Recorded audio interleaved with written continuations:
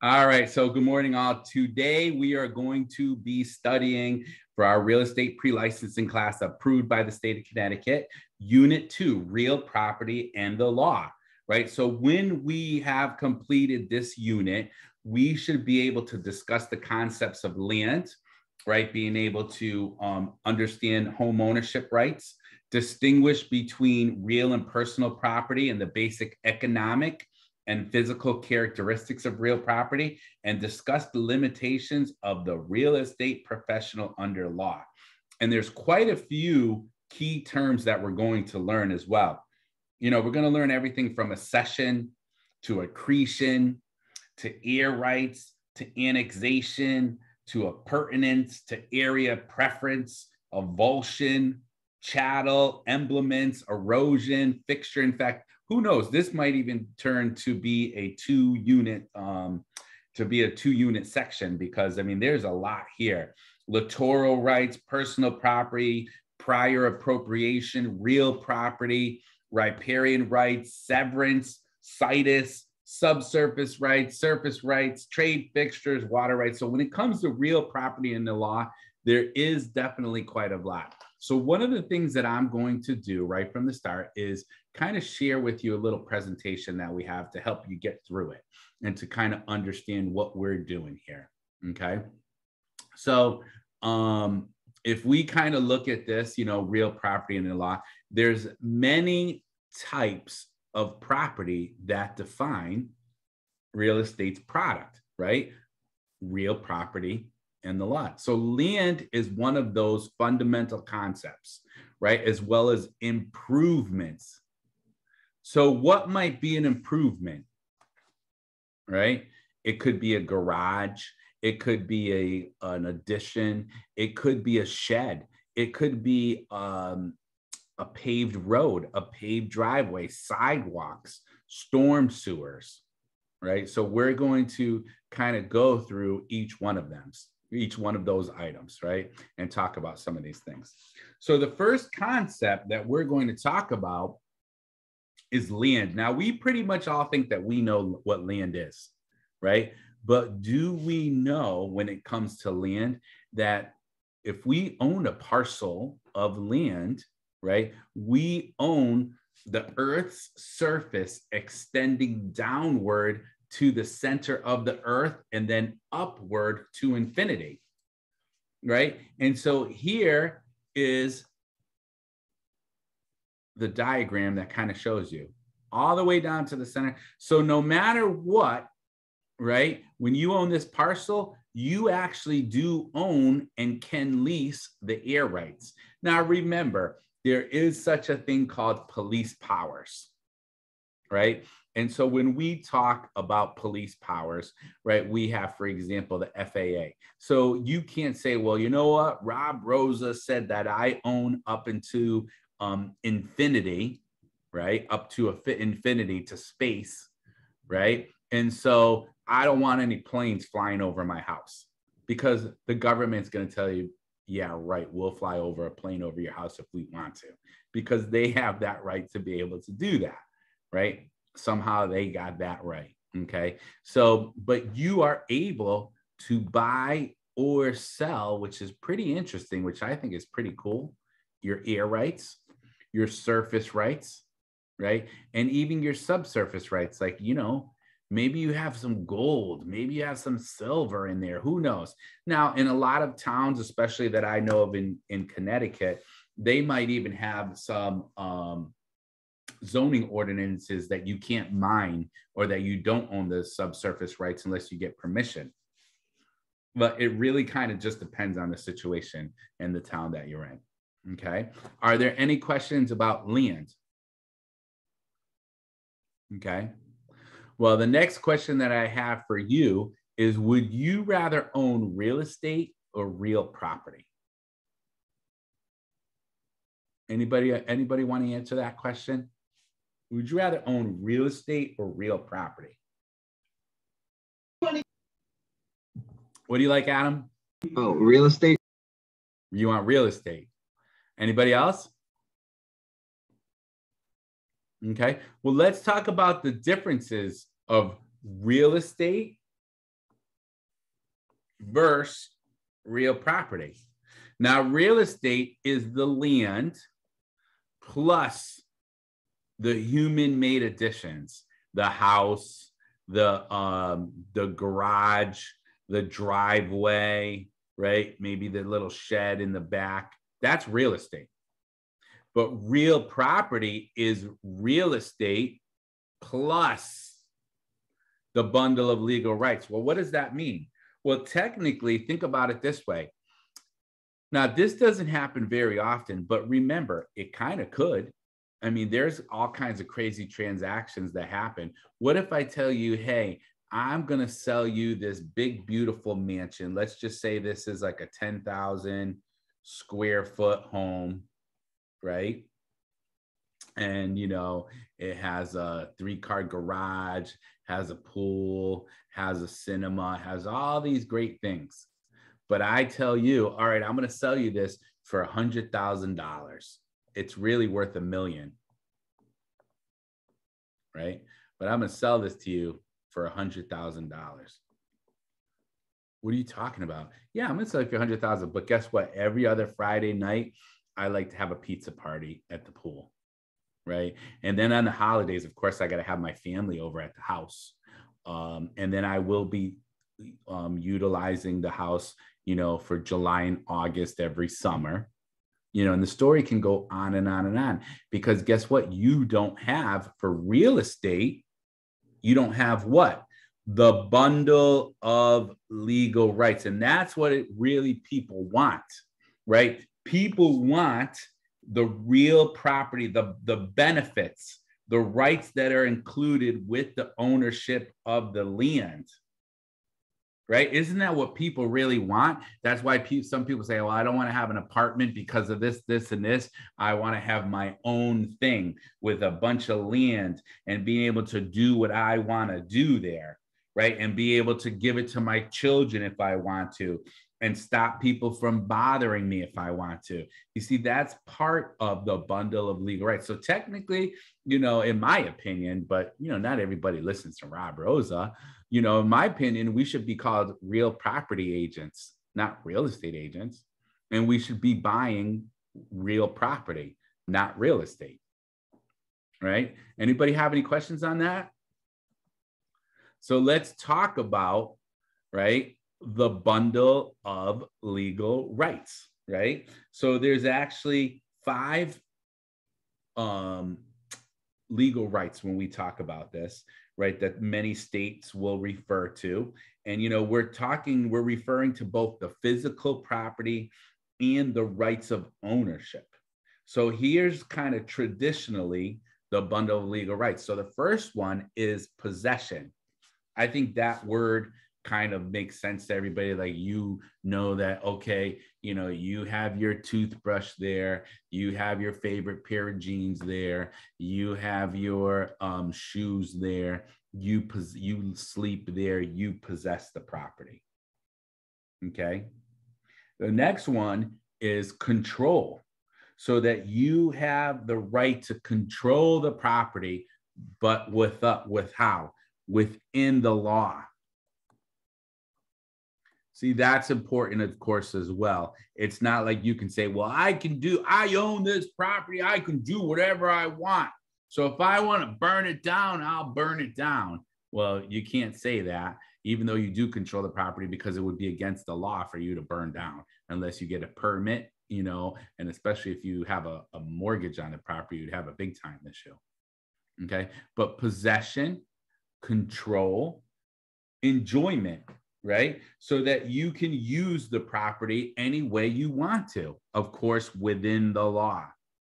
But you can use, you have use of the property to enjoy it, right? And like I said, do you want me to sell you this property where I'm going to be there every weekend?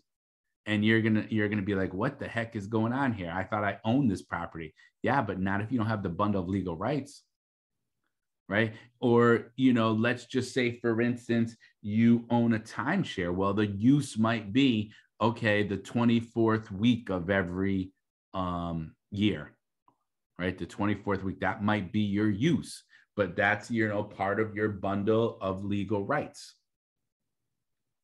Okay. Exclusion. Well, what does that mean? That you can um, keep others from entering or using the property if you want to. Keep others away. Does that make sense? Right? That you're going to be able to um, keep others from entering or using the property. And then, of course, is disposition. So who knows this this um, one of these legal rights? What does disposition mean? Anyone know? What's disposition mean?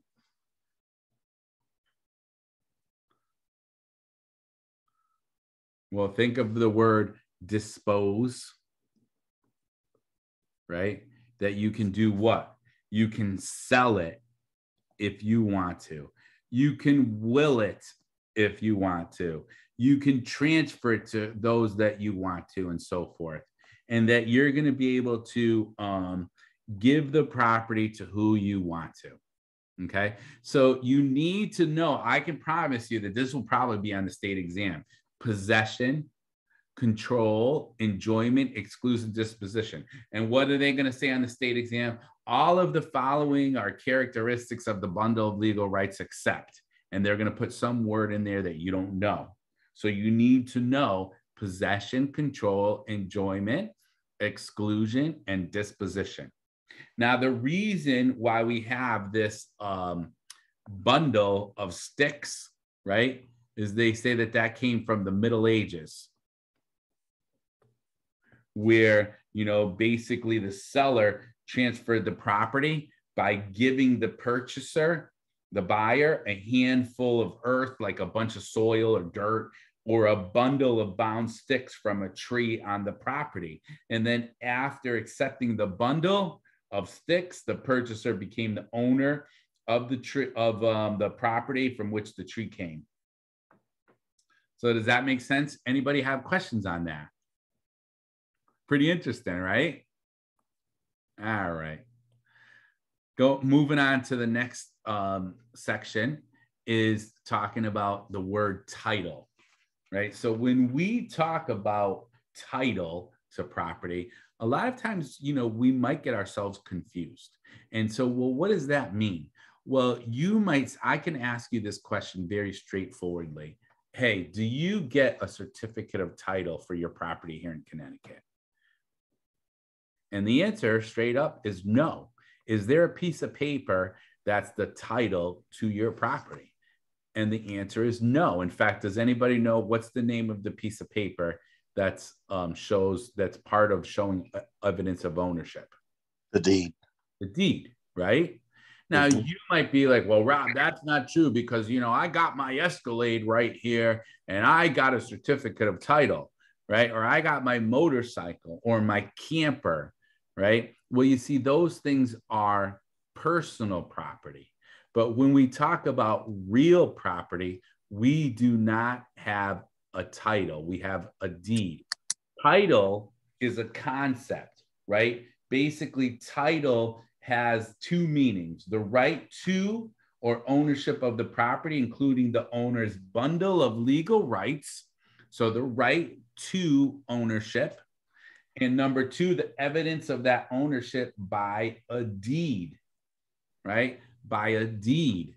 So that's why, you know, we do not have a, a piece of paper. That's kind of like a, again, it's a concept, concept it refers to ownership of the property, not to a printed document. Okay, gets a little bit tricky.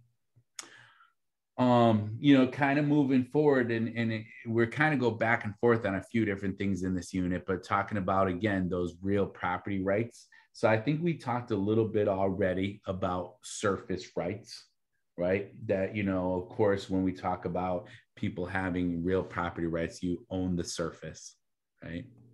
But like we said, you also have opportunities to possibly own subsurface rights in certain areas, right?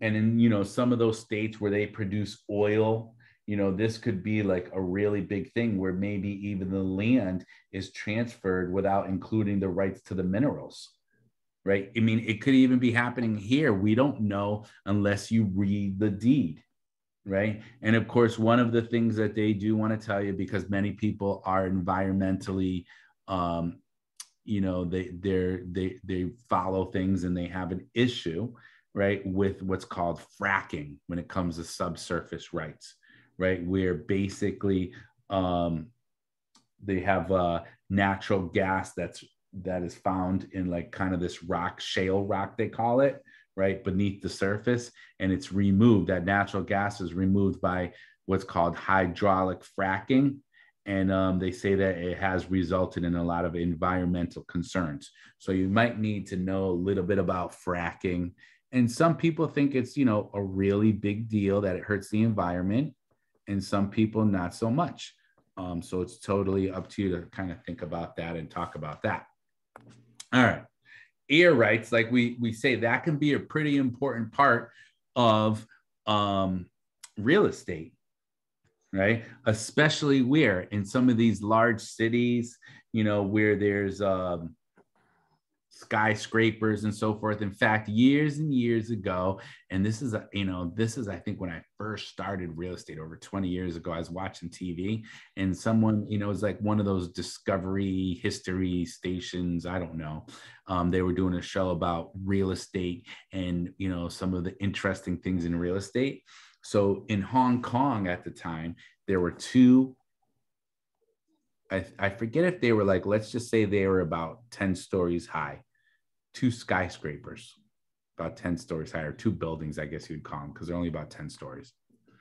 And someone, I guess, had owned this land here in the middle. So this is called a real estate play, right? A real estate play, P L A Y. Somebody created an LLC. They bought this this alleyway. Now, this alleyway was only big enough for about um, a lobby and um, a couple stairways and a, an elevator or two. I forget exactly. Then these the same company, but what they did is they created another LLC or a separate company, and they asked this skyscraper, or this building owner, to buy their air rights. This building owner didn't know exactly why, um, but they sold the air rights. Then the same company went to this building over here, created another, you know, shell company, LLC, whatever it was. And so all three parties, they didn't know they were all being worked or played by the same company. They bought the air rights here. And then once the, so once this company bought the alleyway, the air rights for each one of these buildings, they then, believe it or not, they got the permits and the acceptance to build a building like this. So there's a building like that in Hong Kong, and I guess in this lobby area, it just has enough for like two, um, you know, um, two or emergency stairs and two elevators, and then this is all offices. Isn't that kind of wild? I know my pictures are not so good, but that's how important um, air rights could be. Right. In fact, in today's world, they say in a lot of metropolitan areas, it's becoming an issue where there's some people that they never see the light of day because they're always walking in these areas where they're not getting any natural sunlight. Okay. The next section is all about the wonderful world of water rights. So, when we talk about water rights, right, what we're basically talking about is being able to, um, number one, being able to utilize that water. Okay, so that's a big issue.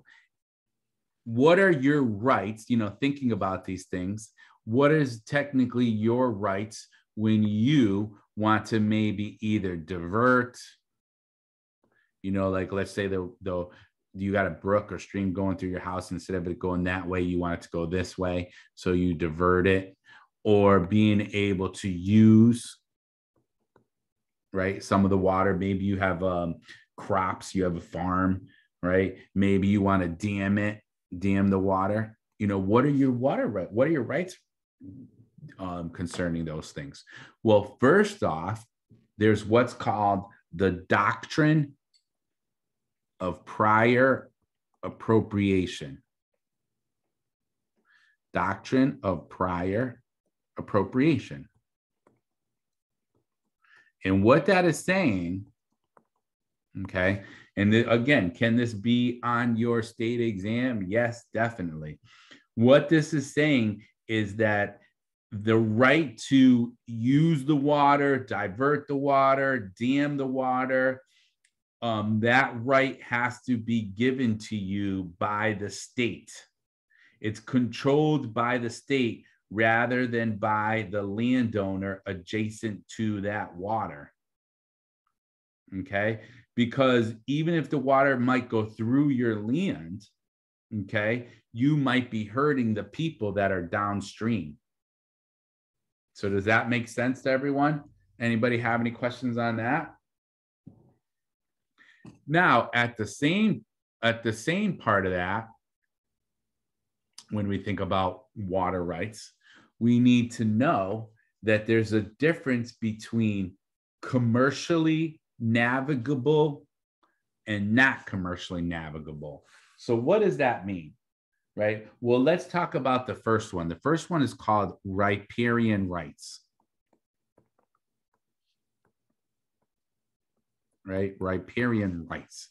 And when we talk about riparian rights, we're talking about um, the, the rights to the owners of the land along the course of a river or a stream or a flowing body of water. So remember, riparian, R-I, riparian rights.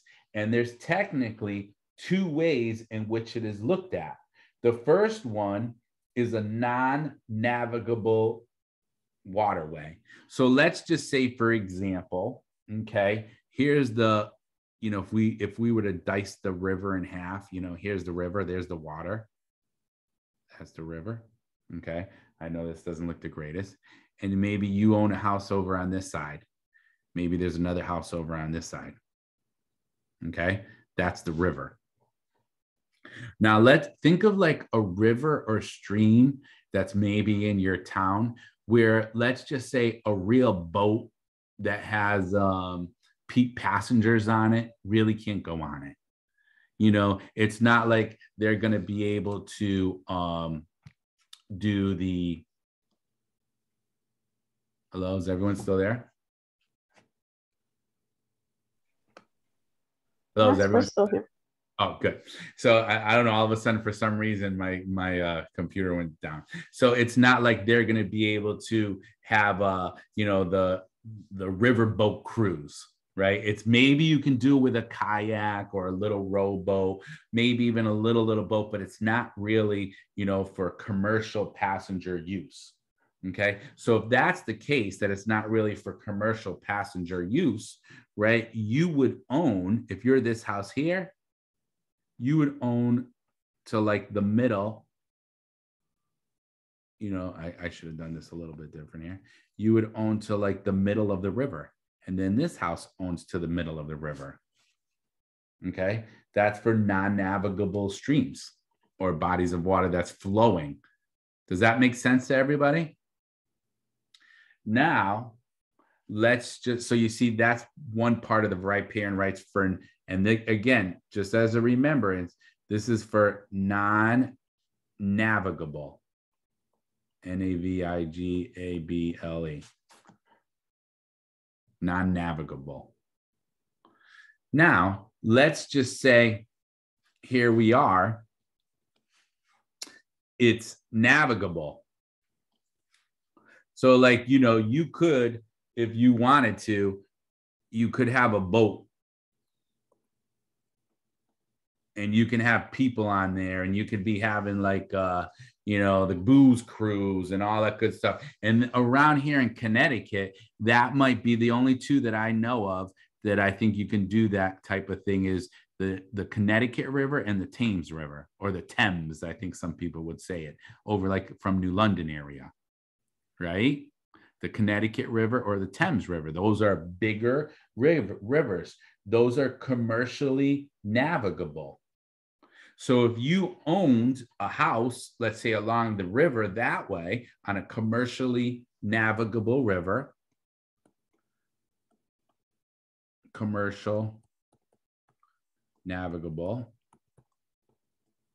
Okay. Well, you would own what? Till the edge of the water. You own to the edge of the water. You see the difference? Non-commercial, non-commercially navigable or non-navigable, you own to the center. But if it's commercially navigable, you own to the edge of the water. Okay. And does anybody know who technically owns the the the um, land under the river?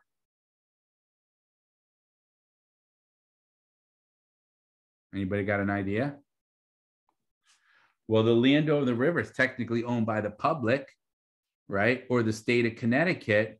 And believe it or not, um, it's part of the highway system. In many in many states, those rivers will be part of the highway system. How cool is that? So, does anybody have any questions about riparian rights? Any at all? All right. Well, let's talk about. Um, we talked about remember riparian. I'm going to erase this. We talked about that's like a river, stream, flowing bodies of water. Well, the next one for water is going to be um, what kind of rights? Well, for oceans, right? Or for lakes, um, people who border maybe oceans, lakes, seas, those are called littoral, L I T T O R A L, littoral rights. Okay, littoral rights, and that's again for like oceans and lakes. Now, if you have a house that here's the ocean right? And you border the ocean. Okay. Well, what do you own up to? What do you own up to? Anybody know? You basically own the land adjacent to the water. So you own this land adjacent to the water up to the average high water mark, average high water mark. So does that make sense to everyone? Anyone have any questions on that? And they basically say that in some states, these riparian and littoral rights um, that basically um, appurtenant right? Well, what is that? Appurtenant means that they run with the land. So they usually go like this land here from owner to owner to owner, like most of the time, unless something weird happens, right? You can't say, well, I'm going to sell you the house, but I'm going to keep the rights to the land. Most of the time, you cannot do that. I had a question. Yes, go ahead, Adam. Uh, how would they figure out where the high water mark would be? Is that like uh, wherever high tide would be usually? Or? Yeah, I think that's where they go. And, you know, usually you can tell. I mean, it's kind of the same for years and years and years. So they probably even have that in the deed. Somehow they probably have it written, you know, from the southwest corner of the house out 32 feet or something like that. So they will have somewhere in the deed or the town records the exact feet from the house that you own. Um, and they, you know, they probably have just used like that average high water mark after so many, so many years. It makes sense? Uh, yes, it does. Thank you. No, no problem. What else? Anybody else have any questions? Okay. So, you know, kind of staying with this whole thing about water and land. You know, we're going to stay on this page for another couple of minutes. Um, there's going to be a couple other terms that you need to know. And so one of them is called accretion. And does anybody know what is accretion? Just to give myself a little bit of room here. Accretion, A C C R E T I O N. What's accretion? Right? The increase, increase in land, right?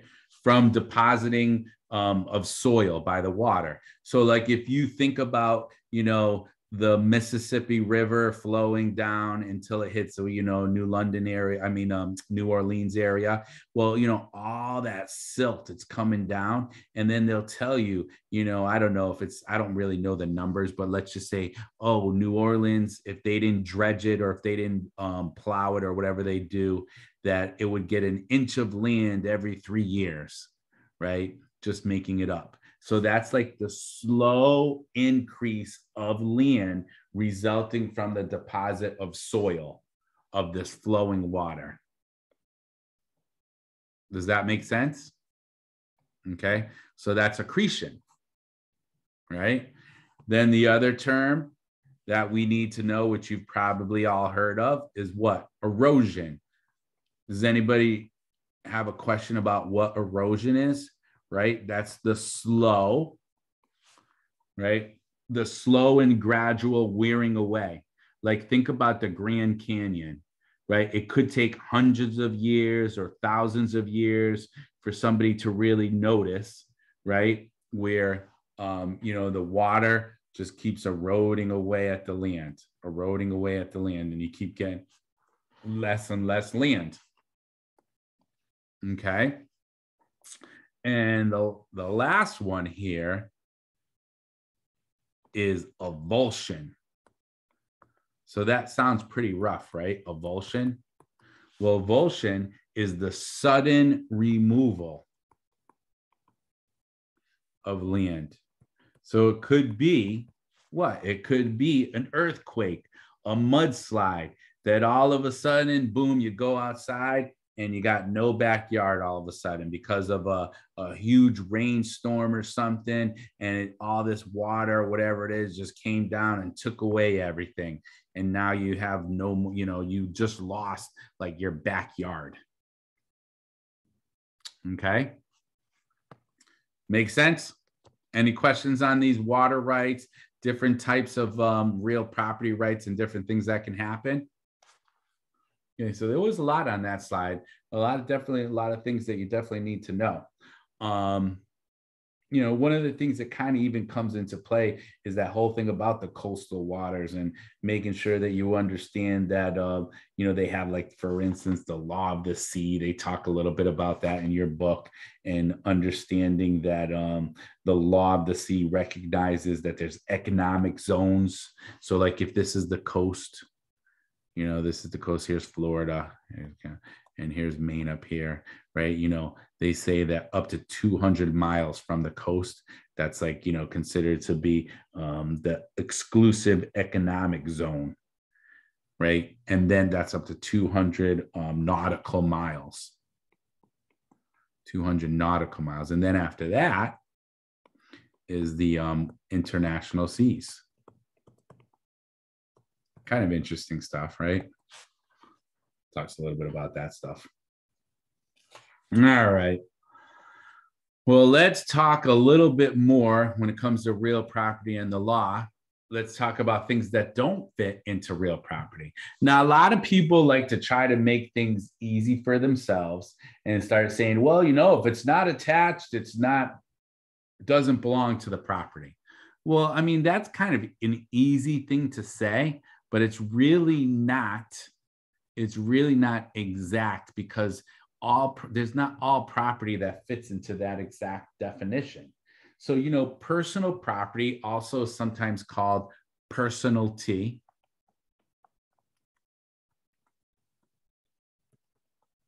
personalty right?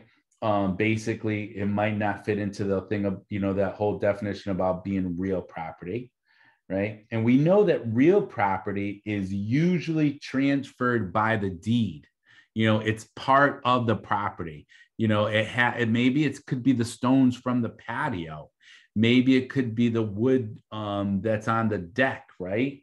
That's real property. Maybe it's the trees that's on the property, the lawn, the the grass that's on the property while personal property is usually transferred by a bill of sale so like for instance here you are um you know and this sometimes gets a little bit tricky but you want to buy the lawnmower.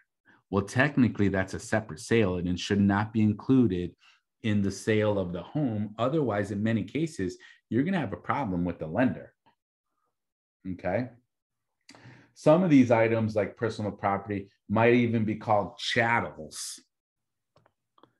C H A T T E L S, chattels, right? And those might be things like chairs or tables or money, bonds, bank accounts, all that kind of stuff is considered personal property. Okay. Now we do have this um, term called manufactured housing. Okay. When we talk about manufactured housing, you know, really what we're talking about is um, back in the day, which they don't say it anymore, maybe the term mobile home used to be used a lot, right? Where basically the dwelling or the house was was not constructed at the site. You know, it was built off site.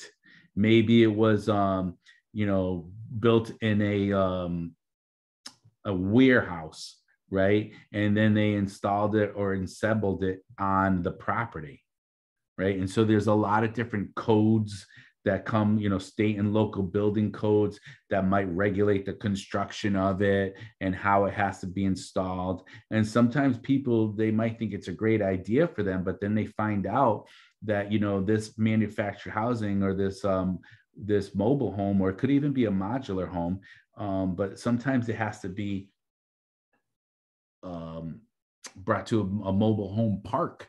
And that mobile home parks are sometimes getting to be really pretty expensive. I mean, there's mobile home parks that are like five, seven, a thousand dollars a month, 500, 700, a thousand dollars a month without a problem. Right. And what also comes into play here is um, also modular housing. Now, modular housing, they say is pretty interesting because they actually say you know, some builders, they don't like this because they don't think, believe that it's true.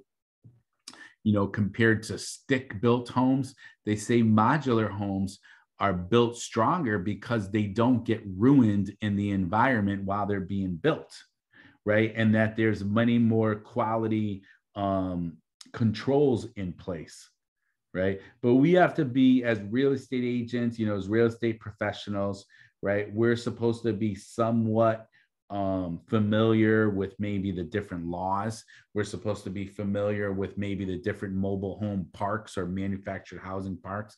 Familiar with if we see a house that's modular housing, it doesn't mean maybe that it's better or worse, but it is different, right? It is different. And so, you know, we should be able to disclose that to people if they ask us. Make sense to everyone? Everyone have anyone have any questions on that? All right. Well, let's talk a little bit about plants, right? So when we talk about plants, there's basically two classes. Okay. The first class is kind of like um, things that we have to think about that don't require us to plant every year, that are not part of, um, you know, they just come up naturally every year. Like, for instance, when we talk about plants, right, we have what's called fructus. See, you're even learning Latin. You know, you guys are even learning learning different languages like Latin in this class, and I'm not even charging you extra. Isn't that incredible? Are you psyched about this or what? Right? Fructus naturalis.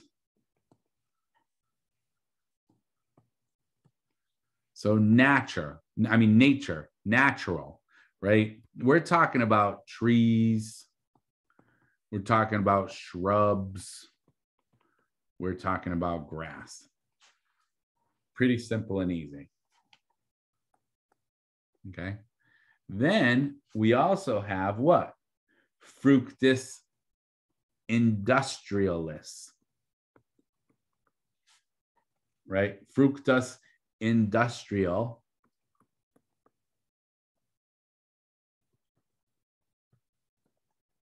less.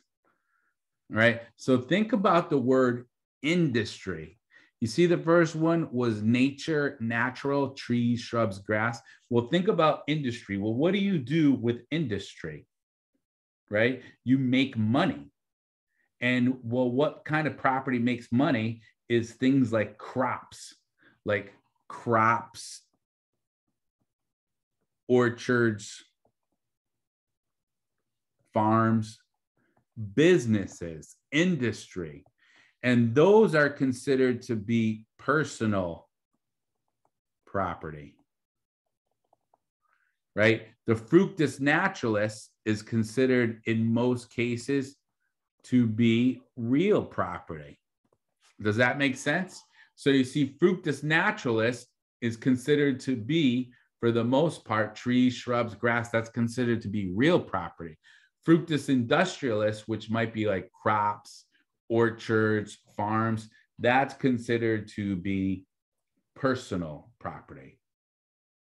Right? Most of the time, um, most of the of the time you're not expecting um, them to be sold separately, but they can be, right? Or sometimes you might see, oh my gosh, I can't believe I can get these 100 acres of land for some incredible price, right? And then come to find out, oh, it doesn't include the orchards or the farms or the crops on top of the um, the property right so you might be like oh wow so i'm buying the land but um, they have a 10 year lease with a farmer who's the one who has to sell that stuff.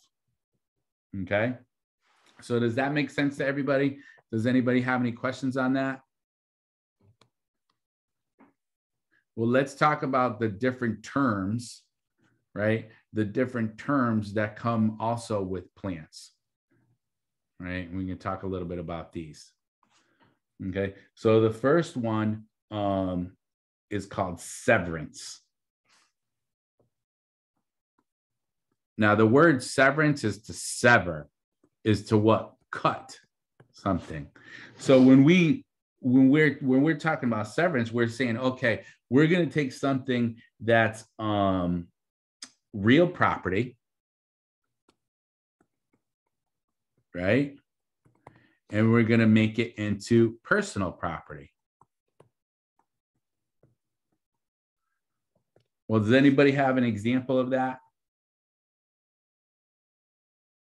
Right. So maybe it could be okay, well, you know what? Believe it or not, this rose bush, right? This rose bush is real property. You know, any reasonable person might believe that it's going to stay when the property gets sold. But maybe on the inclusion exclusion list, when someone's selling a property, they put that they're going to take the rose bush with them be, um, because their daughter gave it to them for Mother's Day. And so they're going to cut it before they sell the property, turning it into personal property, severance. So that's a term that you need to know. Okay. The next term that you need to know is annexation. Anybody know what's annexation? A N N E X A T I O N. Right. So that's basically changing something from personal property to what? To real property.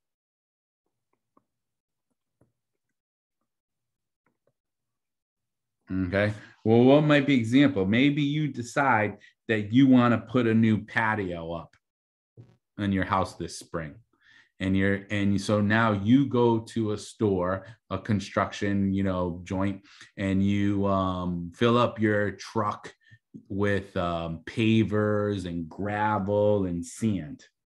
Right now, all that stuff that you just bought from the store right up even to when you get into your driveway is considered to be personal property. Right. So if God forbid, let's just say on the way between the between the landscaping place and your house you stopped for ice cream and somebody stole all those pavers out of your truck when you were eating your ice cream sundae right well you're not going to be able to call up your um maybe you, you know depending on the scenario you're not going to be able to call up your homeowner's insurance company and be like hey they stole these out of my truck and i was going to make a patio out of them so i want to make a claim with my homeowner's insurance you see that won't work because at that point it's still personal property. But now, once you go home and you lay down the pavers and you put the sand in there and all that good stuff and you mix it together and you and all that good stuff, then you're turning it to real property. So you need to know about severance, you need to know about annexation. And then lastly, which I don't know why it doesn't all go together, really simple and easy um, you need to know about the word emblements. Emblements are what? As a reminder, they are those crops or orchards or vegetables. They are part of, or it's another word for the fructus industrialis. industrial LES. Okay. So emblements. All right. So there was a lot there. There we talked about emblements, we talked about severance, we talked about annexation, right? Um, anybody have any questions before we move on to fixtures? Any points or questions that come to your mind that you might want to discuss? All right, well, let's talk about fixtures, what they are, and then the classification.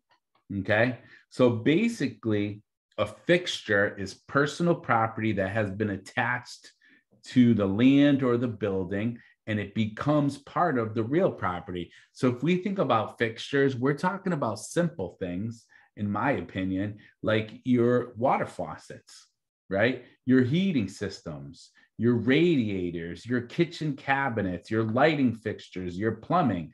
You know, it's basically being put in there to be, you know, uh, turned, you know, uh, an item.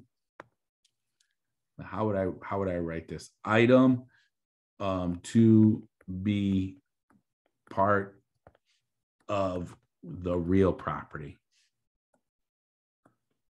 You know, it was basically personal property that was turned to be part of the real property. So again, think of like the me- mechanicals, the hot water heater, right? Would it be the kitchen table and the chairs? No, right? That's not really attached, and that wasn't meant to stay forever. You know, like a boiler system like my um, radiators, like my baseboard heating, like my storm door. I mean, think about it. You went to a store, you went to, you know, I hate to name names, but Lowe's or Home Depot. You bought a storm door, you came home and you nailed or screwed it onto the home. That's a fixture. Now it's part of the real property. Okay. Any questions on fixtures? Now, when it comes to fixtures, I don't know how, how come they wrote it on here, but what I want you to know is let's just say, you know, do you believe, which I'm sure you will agree, that when people buy properties, sometimes there's a disagreement. Oh, I thought that was going to stay. You know, like for instance, I had this one house that we looked at, and I could tell you right from the start that um, you know, let's do a stop share for a few minutes. I could tell you right from the start that I mean, we walked into this beautiful kitchen and it was a big kitchen, and in the middle was an island. And this island was gorgeous. I mean, it just it had extra trim molding on it, but the um, had some cabinets on it that looked exactly like the cabinets that were in the rest of the kitchen. It had granite um, countertop with like a two level granite countertop that looked exactly like the granite countertop in the rest of the kitchen. right? And so my buyers loved the home, and I mean it was like a four hundred something thousand dollar home. And um, I get to my, they say they want to make an offer. So I get to my office and I pull in, pull in the disclosures. And what do I see on the disclosures on the inclusion exclusion sheet? That the island is not included. And I said, You got to be kidding me. You would never believe by looking at it that the island would not be included. So I called up the listing agent. Hey, what's going on? Is the island include? The island's not included. Oh, no, they found another home that they love and they want to take that with them. And, you know, I went to tell, I told my buyers and they said, Forget about making the offer because you know why would that not be included? But sometimes there's weird things that happen. So you have to make sure that you are reading the disclosures. But sometimes people will not be very very clear in the disclosures. And so that's why we have what we call the legal tests tests of a fixture. So let's talk a little bit more about that. In fact i'm going to use a little whiteboard here right? And let me clear this out. All right, and we're gonna use, um, let's see here, some text. We're gonna use blue, okay? So let's talk about Maria. Well, who knows what Maria is, right? Well, we're gonna talk about the legal tests of a fixture. So, well, what does that really mean? Let's just picture in our minds that we have a buyer and seller who um, had a real estate transaction. And with this real estate transaction, um, the buyer and seller have an argument, right? And so now the buyer says, Well, I thought that was going to stay. And the seller says, No, that's not going to stay. And so now here we are in, in court and of course, you know, not every court decision is going to go exactly by this, but this is generally speaking what usually happens, right? When we talk about um, sellers and buyers. And that's why it's important for us as real estate agents to try to make things as clear as possible. So the legal tests of a fixture, right? And the acronym that we're going to use to help us remember the five basic um, tests is going to be Maria. All right. So number one, M. Okay.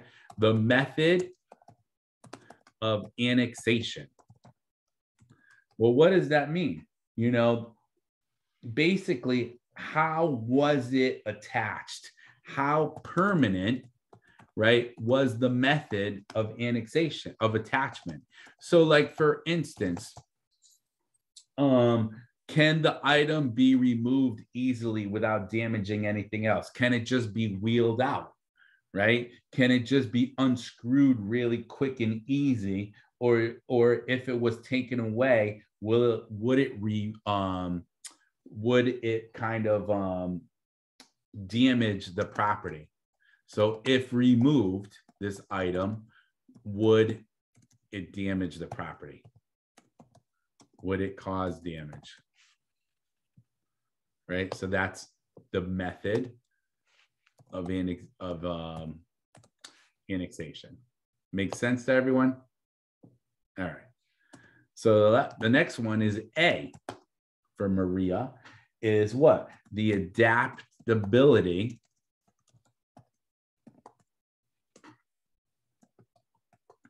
the adaptability of the item for um, the for ordinary use.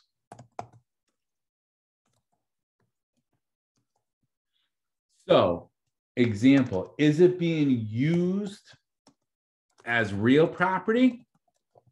Like for instance, um, like a kitchen cabinet, right? Because it's matching used as real property or being used as personal property.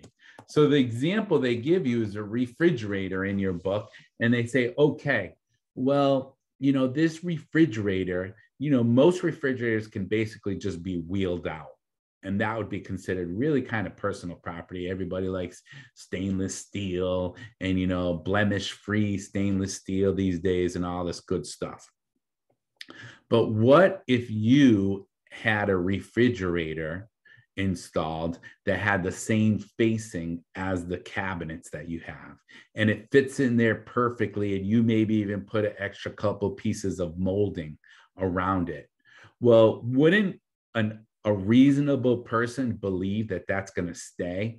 Like, who would think that you're going to take this refrigerator out? Right. So that would be a legal test of that fixture as to whether it should be included during the sale of a property or not. Does that make sense to everybody? Does anybody have any questions on that? Because I really want to make sure you feel comfortable. Okay. Well, the next one for R for Maria is the relationship of the person placing the item on the land. Okay. So the story is, and you know, this is pretty important, um, is that we know that the courts are going to favor a tenant over a landlord almost every time.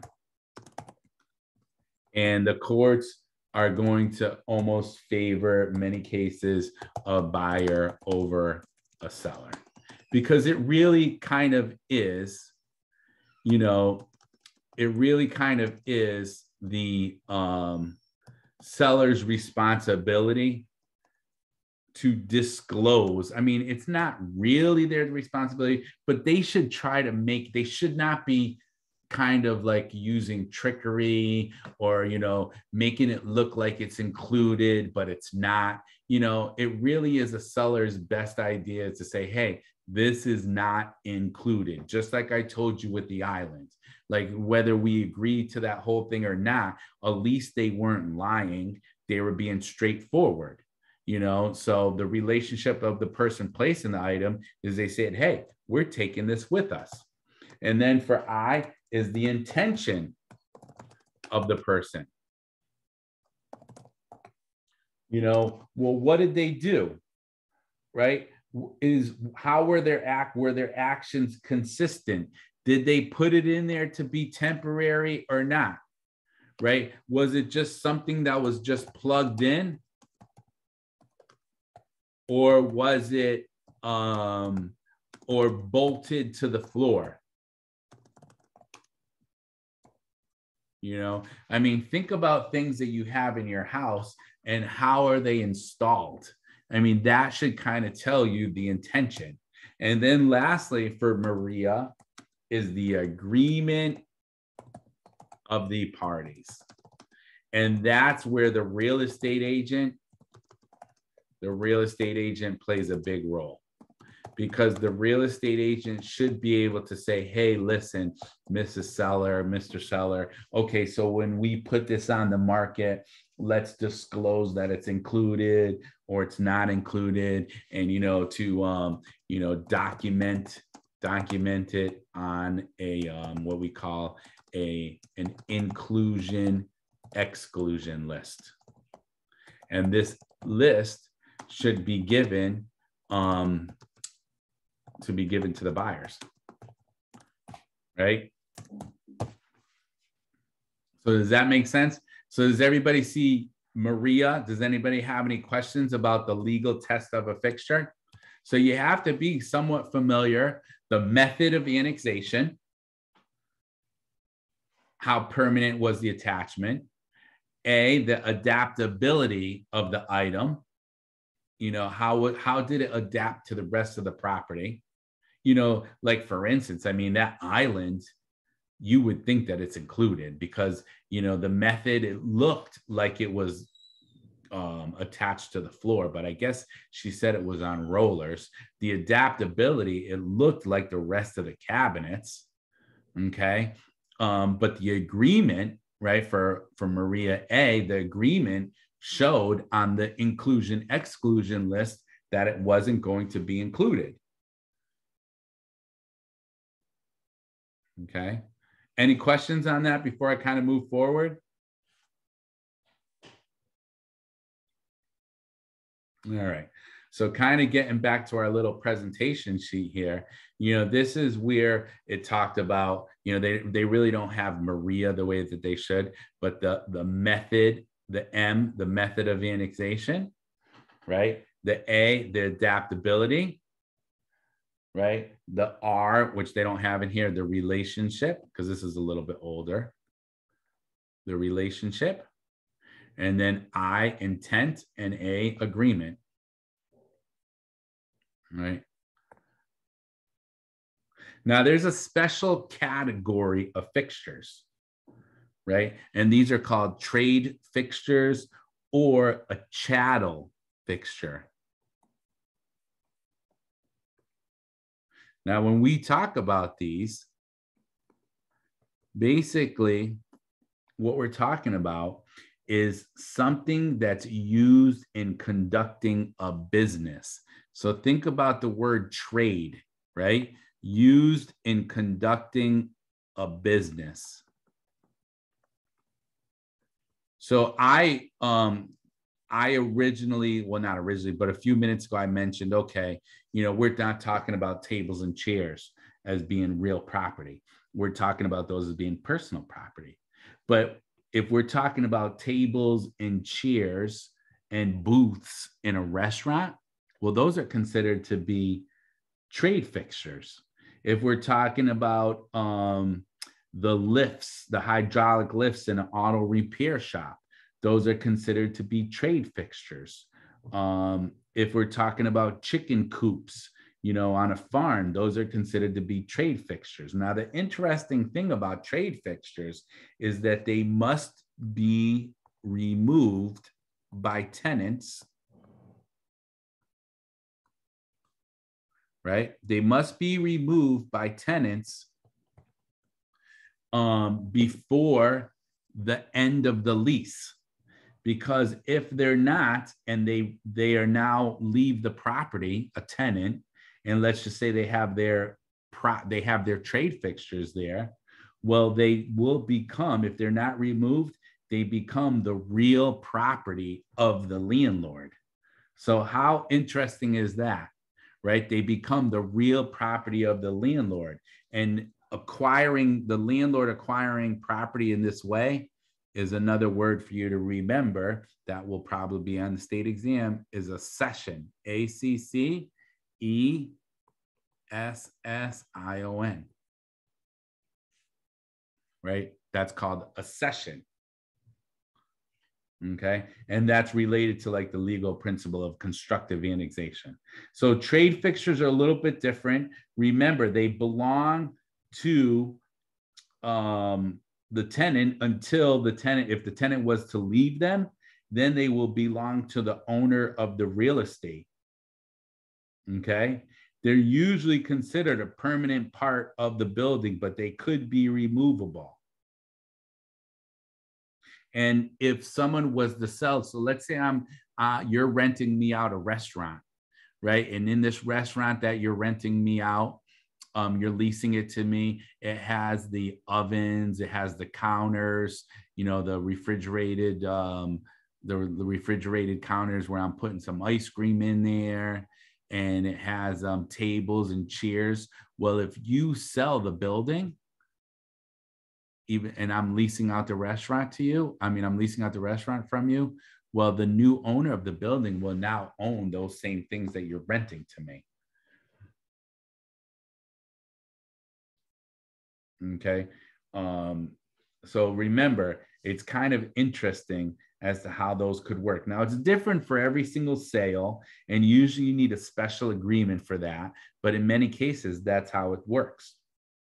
And what's interesting about that is that um, you know you need a special agreement, but when it comes to regular fixtures, they're usually always included in the sale or mortgage. So, like again, regular fixtures like the boiler, the faucets, the lighting systems, any reasonable person will think that that's included and it should be in a regular sale. But when it comes to trade fixtures, right, those are usually, if I own them as the tenant, then they won't be included. But if you own them as the landlord and you have a special agreement, they will be included. So does that make sense to anyone? Who has questions about that? Because it can get a little bit tricky.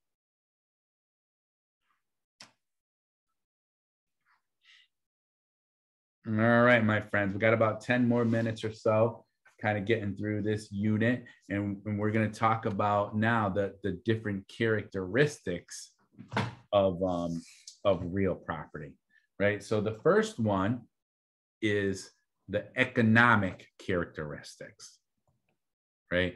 And so the way that I remember this is SIPA, S-I-P-A, because again, they're going to have some questions on the state exam all of the following are economic characteristics of real property, except. And if you don't try to find ways to remember these, you're definitely going to find yourself at a disadvantage, right? So there's four economic characteristics of real property that will affect its value. The first one, scarcity, right? So think about it this way. Yes, we know that there's plenty of land out there right? I mean, if you kind of look like, you know, throughout the whole country, like the Midwest, there's there's millions and millions of acres. But why is land, let's just say in Manhattan or waterfront or waterfront property, you know, along the ocean or lakes? Well, why is it so expensive? Right? Because there's only a finite amount right? There's only so much land in Boston, downtown. There's only so much land in Manhattan or Washington, D.C., or some very, there's only a finite amount of land available in very desirable areas. Right? So it is scarce in many in many cases man, that word areas looks terrible. A R E A S. Okay. The second economic characteristic is improvements. Right? Remember, we're talking about things that affect the value. Well, improvements affect the value. So, like for example, if um, people build, um, you you basically build a, a nice, um, I don't know, three car garage or like some beautiful shed or like a nice in-ground in-ground pool those will affect the value of your property okay building an improvement on the property will affect the value the third thing is permanence of investment right so when we talk about permanence we're talking about um, things such as, you know, sewers, right? Or city water. Now, there are some people that they, um, you know, they they say, well, it's no big deal for me to have a well or a septic, right? It's no big deal. But the truth of the matter is, is that homes that do have a sewer or city water, they are definitely they're usually worth more or people they're more desirable they have a higher value because that's what people want people want to live usually off of a paved road right people want to have city water city sewer right so that would be considered to be an economic characteristic and then the fourth one is uh, known as area preference or location or situs, right? S I T U S. So that's a word that you're going to want to remember. And what is that basically saying? That we know it might sound cheesy, but like everybody says, the most important thing about um, a piece of property is location, location, location. There are some properties that people just prefer, you know, prefer certain locations over others. You know think about well why do you like this location over another? And that is area preference. And so that's an economic characteristic. So those are the four economic characteristics of real estate that affect remember value. Value who has questions about that right? Again, they're going to ask you another question. Okay, um, on the state exam, the following are the physical characteristics of real property. And they're going to put in all kinds of um, answers there, and you need to know IIU. I mean, this one's a little bit harder, I guess, to, to remember. To me, it's kind of easy because I've been doing it for so long, right? But you need to know the three physical characteristics, right, of um, of real property. Okay, and so if we think about these, the, the first one is immobility, right? Well, what does immobility mean?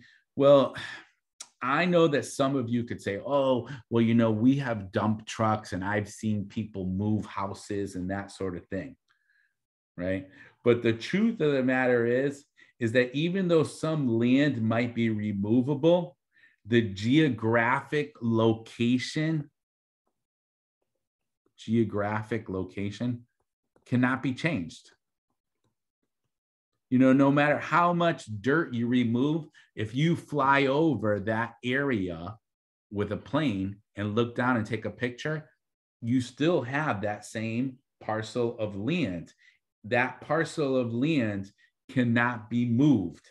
It's fixed. And so that's why it's immobile. And so that's a physical characteristic of land is that it cannot be moved.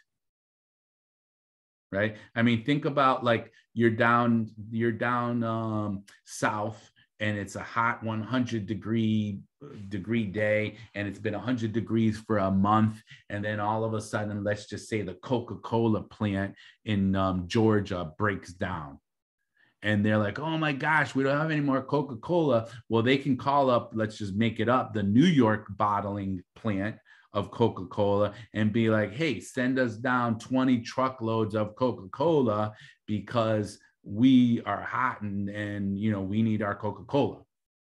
Well, you see, you can do that with products but you can't do that with land. You see how land is immobile? You can't say, okay, well, we need a bunch of more land down here in Myrtle Beach. So we need um, Connecticut to send us down 20 um, lots of land. You just can't do that. Okay. And then also, the land is considered to be indestructible. So, yes, we know we talked about um, erosion, we talked about avulsion and that sort of thing. But regardless, no matter what happens, even if there's a sinkhole there, that parcel of land is still indestructible, right? Because the parcel is still going to be there when you drive over it, right? And somebody's still going to have to pay taxes on that parcel, right? Even God forbid um, it's mined or it's eroded or there's a, a bomb that goes off on there, that parcel is still there. So that's considered to be a physical characteristic of land. And then lastly is the uniqueness, right? So we know, um, you know, that we can drive through certain neighborhoods and we see kind of like you know have you ever driven through a neighborhood and you're like oh my gosh there's you know there's 30 houses here they're all the same they all look the same right but regardless right no two parcels are exactly the same or in the exact same location. You know, one parcel might flood, even though they're right next to each other, and maybe they're the same size and everything else. One parcel might flood, the other one might not.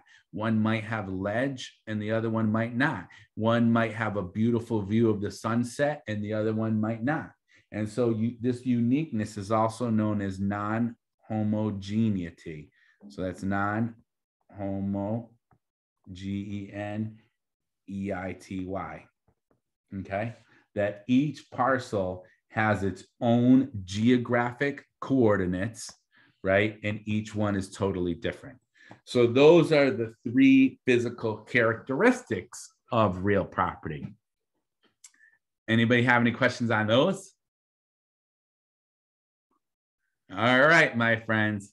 And lastly, just to kind of finish up this unit for today, are the laws affecting real estate.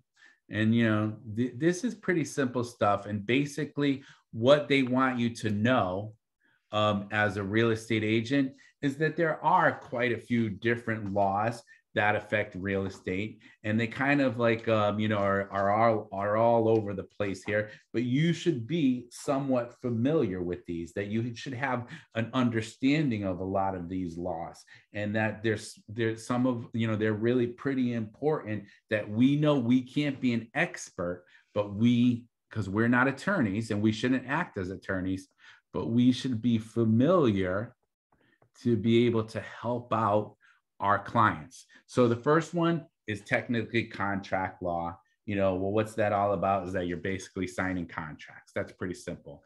General property law, which we talked about, the bundle of legal rights. And how many are there? Five. And what are they? Well, you should definitely, you know, know them and make sure that you remember them, right? What are we talking about? Well, we're talking about possession, right? We're talking about control. We're talking about enjoyment exclusion, and disposition. So, possession, control, enjoyment, exclusion, and disposition. Agency law is all about well, what are the relationships between the parties? Relationships between the parties. Real estate licensing laws okay, well, knowing that you have to do 60 hours of class and you have to take a final and all that good stuff. The federal re- regulations, what are the federal, state, and local tax laws? Like we should be familiar with, you know, what's it going to cost me for taxes? And the zoning of the of the land and the how you can use the land. You know, is it residential or is it commercial? And then lastly, the federal, state, and local environment regulations. So does anybody have any questions about these different laws and how we should be familiar with them that affect real estate? All right, so that's pretty much our unit on real property and the law. Um, and so you know this is something that you want to go through and make sure that you you know it you're familiar with it and you might get right now the way that it looks is maybe you'll get about eight questions or so on the state exam when it comes to these um, to these different um, to this particular unit real property and the law